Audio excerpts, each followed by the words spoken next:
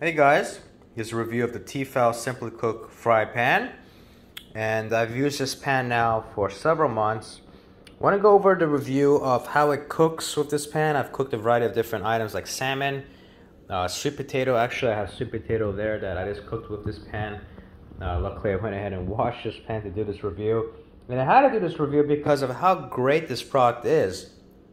Um, you know, this is one of the products that when I purchased it, I was kind of hesitant. Um, but when I purchased it, uh, I'm look, uh, I'm glad I did because it's done a phenomenal job in terms of holding up. Now there are some pros and cons to this pen, which I'll go over. And if you haven't already, please press the like button for the YouTube algorithm down below. It's going to help out the channel. And uh, subscribe also down below right next to the notification bell. So let's jump right into it, guys. Um, these are some of the technical details. It does say lifetime guarantee. A lot of these lifetime guarantees where, you know, when you do have the pot or pan, you're going to have to mail it to them. And then you're going to have to pay for the shipping uh, of the item to get back to you. So you're paying about 5 or $10 to ship it. Then you're paying about 5 to $10 to ship it back. So you're looking at about $20. Uh, I paid about 35 for this uh, pan. So overall, you know, it really depends on the time, effort, energy of, of purchasing a box and mailing it back for the lifetime guarantee, but I don't really count on it. But it's nice to have it there.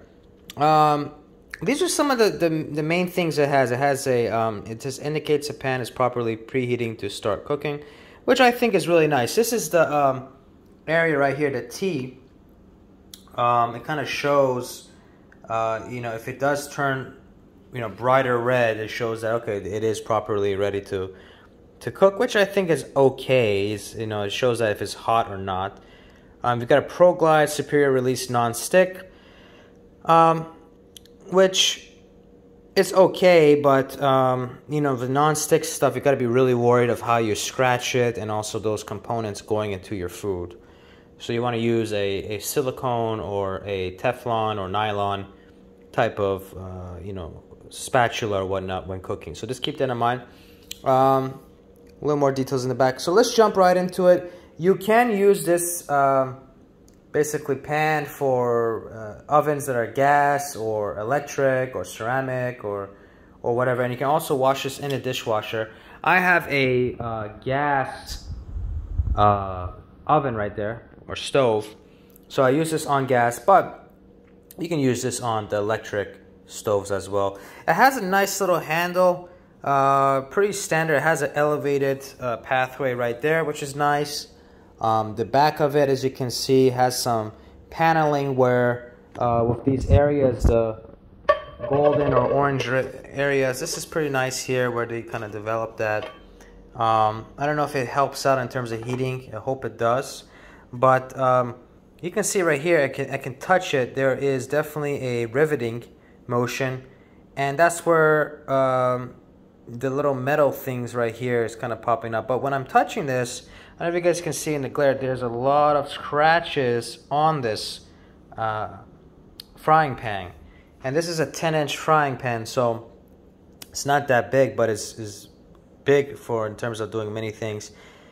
But there's many many scratches here. So over time I foresee this being an issue with this frying pan in terms of the longevity of, of frying and having that non-stick coating to it. Um, you know, does it heat well? Yes, it heats great in terms of it being uh, heated throughout the bottom of it. It does an amazing job because I know when I cook items on the side or in the middle, it cooks really evenly. So I'm really happy about that. Um, it's held up pretty well. I mean, in terms of these rivets here, um, I mean, you can't see it that well, but there's not really that many scratches. I mean, I don't use a, a knife or, or fork on it, but it has held up fairly well. So for the price, I think is a really good price for this. I'm going to post down a review down uh, below in the description if you'd like to purchase this off Amazon. Um, Amazon usually is cheaper. I purchased this from Target, like I said, almost $40 after tax. So um, Amazon usually does have it cheaper. If it does, I will post a link down below in the description. And if you guys have used this brand, T-Fal, let me know your thoughts and how it's you know been working for you. Um, you know, has it been a quality pan that's that's held up over time? Uh, have you had any issues with it? And you have any other brands that you've used, let me know in the comment section down below. Like to, you know, purchase it and check it out. I'm always up for purchasing new items and, and reviewing it for you all. So happy to hear your thoughts in the description down below. And press the like button down again for the YouTube algorithm. It's going to help out the channel so I can create more videos. And subscribe for updates on other videos I may post. Thanks guys. See you in the next video.